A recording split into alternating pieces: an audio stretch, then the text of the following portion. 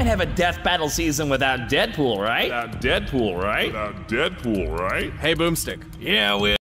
I think I might know a way to get rid of Deadpool once and for all.